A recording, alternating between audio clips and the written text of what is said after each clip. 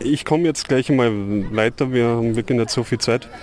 Es gibt ein paar Fragen von Reddit Austria Usern, die habe ich heute gefragt, ob sie etwas von dir wissen wollen.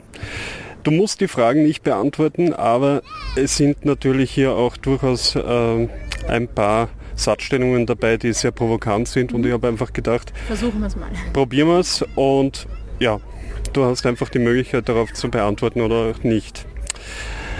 Äh, Pelikan 321 schreibt, äh, was unterscheidet Sie Ihrer Meinung nach von einer geldgierigen Karrieristin, die sich von einer Partei aufstellen lässt, gewählt wird, dann ihre Partei ruiniert und ihr Engagement nach der Wahl auf Lippenbekenntnissen und Geldkassieren reduziert?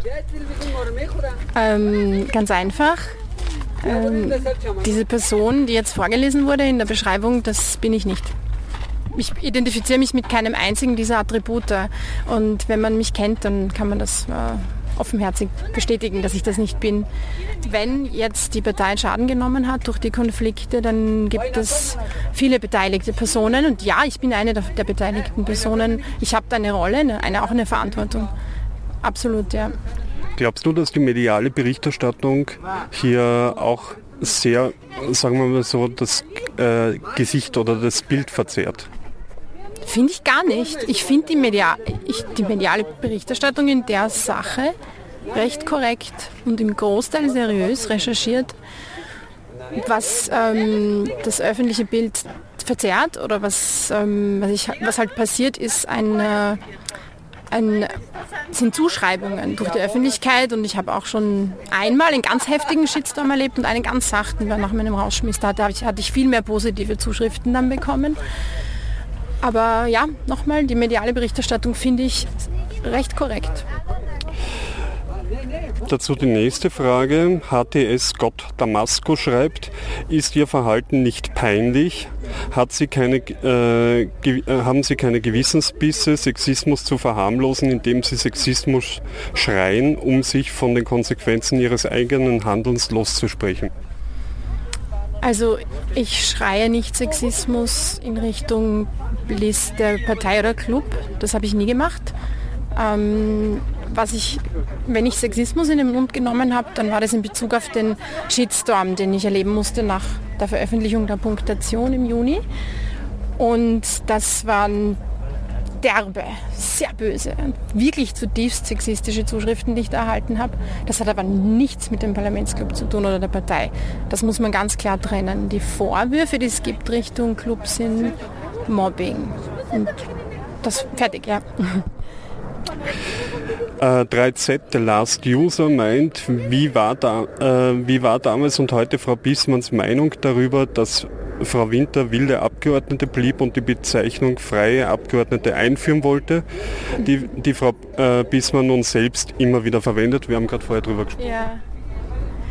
Naja, die, ähm, der Begriff freie Abgeordnete oder wilde Abgeordnete, das eine wie das andere, beschreibt eine Rolle, eine Position. Und da gibt es unterschiedliche Menschen, die die besetzen zu unterschiedlichen Zeiten. Auch ein, ein FPÖ-Abgeordneter ist genauso ein Abgeordneter wie eine SPÖ-Abgeordnete. Ähm, da, ich hab, da bin da komplett äh, emotionslos, was das Begriff, betrifft. Das sind Begrifflichkeiten. Okay. Weder negativ noch positive Zuschreibungen.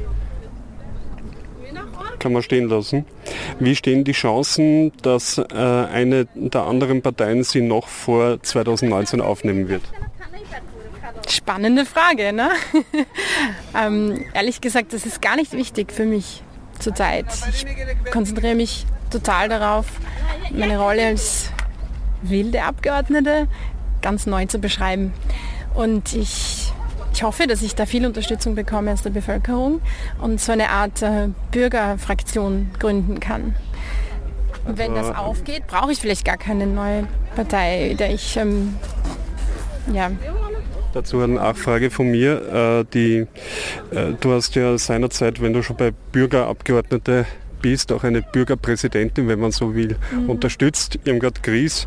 Äh, du warst damals im, der, im politischen Beratungsteam, kann man glaube ich so sagen. Im Wahlkampfteam war ich eine Teamleiterin, ja. Mhm, ja. Und ja, könntest du dir eigentlich sowas vorstellen, so eine Art Bürgerliste? Es ist äh, interessant hier, diesen Link zu zeigen, weil ich habe tatsächlich nach der Präsidentschaftswahl, also nach dem Ausscheiden von Irmgard Gris, ähm, einige Zeit lang versucht, ähm, eine Bürgerbewegung zu gründen mit Irmgard Gris vorne dran. Aber sie, ähm, ist dann nichts daraus geworden, aber da waren viele, Dutzende, ganz viele Menschen waren davon begeistert, von dieser Idee. Und irgendwie trägt mich die Idee heute auch noch. Aber als Bürgerbewegung bezeichnen sich die Neos auch und man hört so, dass es da gewisse Sympathien gibt. Also könntest du da eine Zusammenarbeit dir vorstellen? Weil aufnehmen wollte ich ja die Neos aufgrund eines Parteibeschlusses nicht. Der jetzt nicht gegen dich gerichtet ist, mhm. muss ich auch dazu sagen. Ja, das war der schon einige, ein Jahr alt oder so, der Parteibeschluss. Zusammenarbeiten will ich mit allen Fraktionen im Parlament, inklusive FPÖ, wenn das Sinn macht für gewisse Anträge, ja, für gewisse Initiativen. Was jetzt, also die Neos da jetzt besonders hervorzuheben, ist zu früh. Das ist einfach zu früh. Also ich werde Gespräche führen mit allen Parteien, wenn die Zeit gekommen ist. Okay. Und dann fragt derselbe User, also 13. Last User noch, äh, will sie im Zweifelsfall bis zur nächsten Wahl wilde Abgeordnete bleiben wie stellt sie sich ihre Zukunft vor und glaubt sie, dass sie als wilde Abgeordnete nach der Wahl noch im Parlament sitzen wird? Ähm, ja, das glaube ich. Klar, ohne den Glauben hätte ich nicht durchgehalten bis jetzt. Und äh, da werden noch viele Herausforderungen kommen. Die Politik ist voller Fallen und Stolpersteine. Aber wenn man für was brennt, dann kann man Krisen gut überstehen. Also ich versuche das jetzt mal ich gehe da mit vollem Melan und Schwung rein und versuche da eine, eine Bürgerfraktion aufzustellen und damit zu arbeiten. Und wenn ich sehe, damit komme ich nicht voran und komme ich nicht weiter, dann werde ich was anderes machen. Aber eins ist klar, ja, die Klimathematik, die Klimakatastrophe ist jetzt endlich angekommen in Österreich. Endlich in den Köpfen, endlich in den Medien, endlich in der Öffentlichkeit präsent. Und es brennt wirklich. Wir haben genau zwei bis vier Jahre noch, um die größten, schlimmsten Folgen zu verhindern.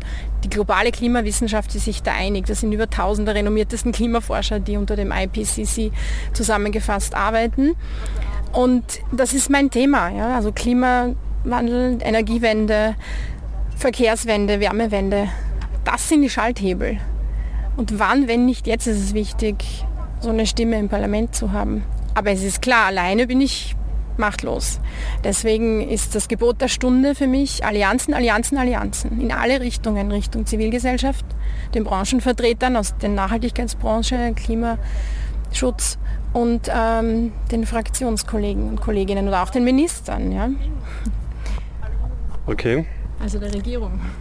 Ja, aber Fraktionskolleginnen und Kollegen hast du ja in dem Sinn nicht mehr. Nein, damit meinte ich ähm, Kolleginnen und Kollegen aus allen Fraktionen. Okay. Meine Fraktionskolleginnen zukünftig sind Bürgerinnen und Bürger. Aha, die Bürger sind deine Fraktion, das muss ich mal merken.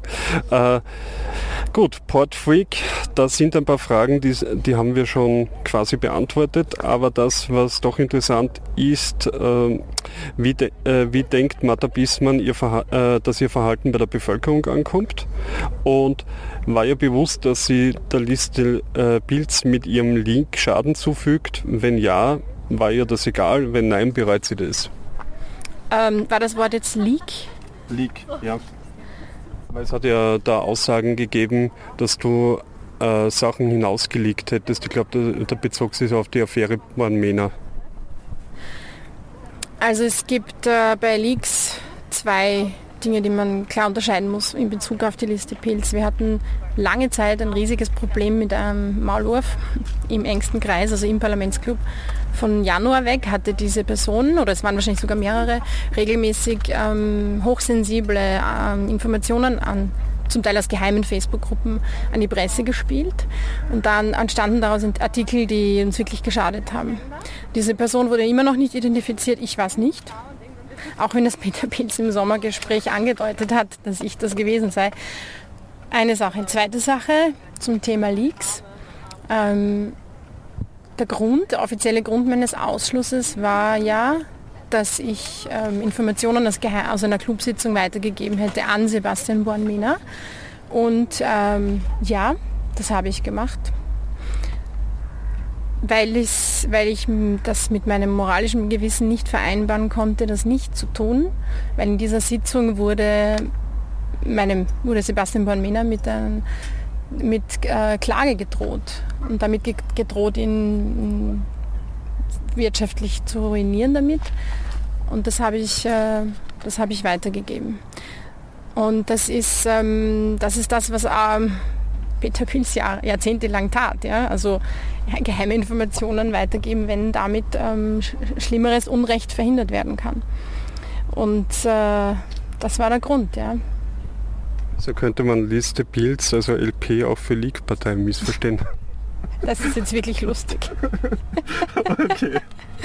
Aber die Frage war, hat auch noch enthalten, ob ich jetzt ein, also der erste Teil war, ob ich ein schlechtes, wie, wie, die, wie das bei der Bevölkerung ankommt, mein genau, Verhalten. Dein, wie dein Verhalten bei der Bevölkerung ankommt. Ich kann mir sehr gut vorstellen, ich kann das nachvollziehen, dass das irritiert.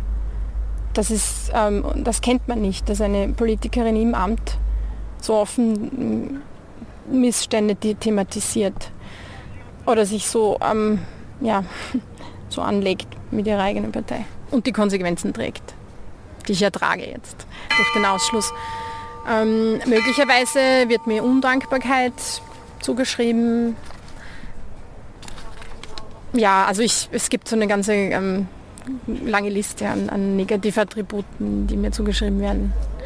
Ja, damit muss man leben. Das ist, ähm, das ist in der Politik oft so. Man kann es nicht allen recht machen.